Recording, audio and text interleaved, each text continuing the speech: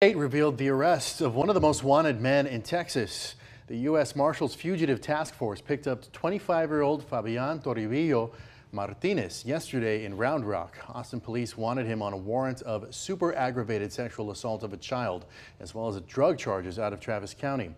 Now, he's originally from Mexico. The Texas Department of Public Safety added him to the special list of criminal suspects in the U.S. illegally in late June. Authorities say Toribio Martinez had already been deported for a conviction in another case back in 2018. He is currently in the Williamson County Jail.